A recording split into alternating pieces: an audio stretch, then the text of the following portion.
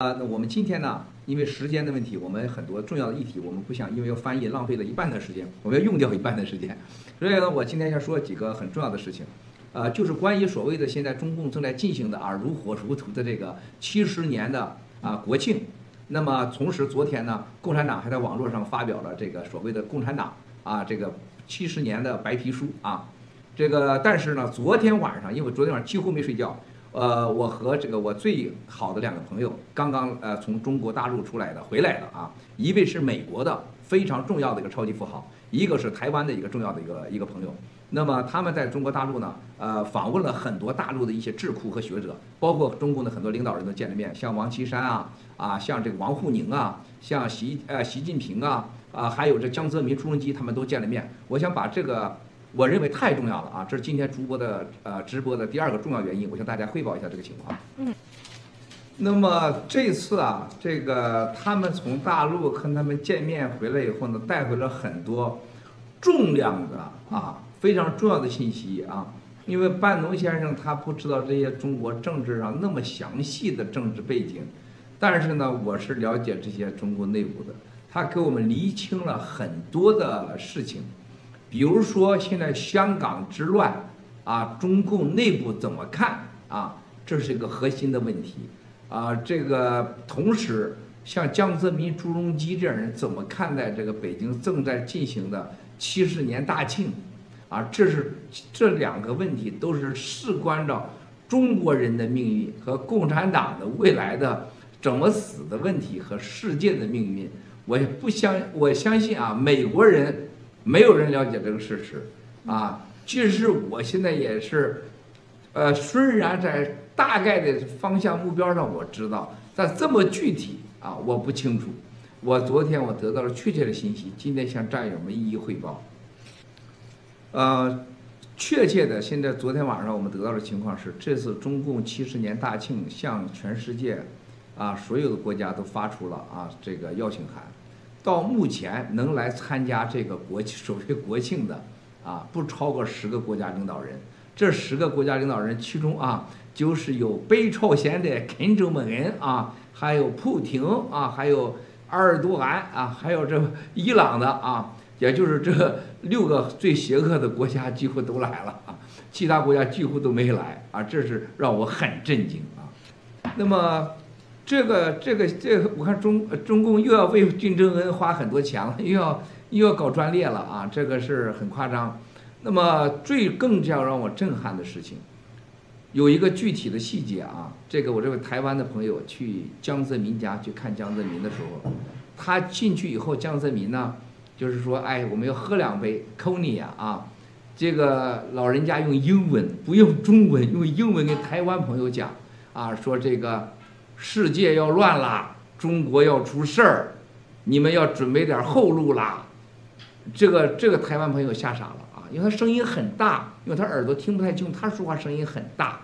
这这个时候，他的家人过来阻止他说：“哎，老爷子，你说话声音小点儿，外边人都听见了。”你可见这个细节啊？就江泽民的家人都担心江泽民身边人泄密出江泽民见人说的话。江泽民见面说：“世界要出大事中国要出大事这个信息太重要了啊。那么这个时候呢，江泽民说说话靠近点儿，就问他：你们外边怎么看待现在这个七十年大庆啊、香港之乱呐？然后这位朋友就告诉他说：现世界上的什么情况？江泽民说：不对，不对，不对，比你们想象的还要糟糕。然后这个这个人就问江泽民：你怎么看待香港的问题呢？江泽民说：“香港出要出大事儿，他们太疯狂了，啊，有些人就为了拍马屁，给了他最坏的 advisor 建议，啊，香港将出大事儿啊，啊，失控了，哇，这个让我很震撼啊！大家都知道，所有人都在说是江家在演的这场戏，但是江家现在是竟然是中国最最恐惧的一个一个家族。”然后这位台湾朋友说：“韩正不听您的吗？这个不都是 得向您报告吗？因为韩正是江家的人嘛，是吧？韩正是管这个香港和上海，呃，香港和这个台湾事务的嘛，港澳台嘛。嗯。结果是，哎，这个好，这个 呃，这个呃，江泽民说，现在啊，上面有七个最坏的人，将葬送一切。啊，这位台湾朋友说，不是有孟建柱、孙立军、王岐山吗？啊，这个你你他们不听您的吗？江泽民啊，这个说了几句非常非常重的话，啊，这个朋友也傻眼了。江泽民说，就是这几个人，把我们大家都给毁了，啊，他们疯了，十四亿人民都要被他给给埋葬了，啊，玩大了啊，这会玩邪的了，啊，这就是得意的忘了形了，脑子出问题了。哇，这个声音很大，家里说：“老爷子，你小点声。”我说：“不要那么大声了。”裁判朋友傻了，说：“这你这是用和平的原话说，这是老佛爷呀，对吧，路德先生？老佛爷呀，这老佛爷都害怕，都失控了。哇塞，总导演现在失控了。现在路德同志在这这房间搞得乱七八糟，的没视频了，没音频了，那你还播啥呢？”哇，这朋友说。那你们家有啥方法？他说我们有什么防范呢？他说现在能能跑的就跑吧，你就别来大陆了，回台湾别来了，是去美国别来了，你要小心。哇，这话都说出来，这是来自江泽民啊，中共是真要出大事了。嗯。然后呢，这位朋友说，那你怎么看待中美贸易战呢？你怎么看待现在创汤川普总统和这个习近平的关系啊，和中国的关系啊？然后江泽民。特别大声的说，他们完全错估了形势。香港完全他不了解，啊，美国这次他是把老虎给唤醒了，啊，他们现在是完全失控了，没人能解决了这个问题了。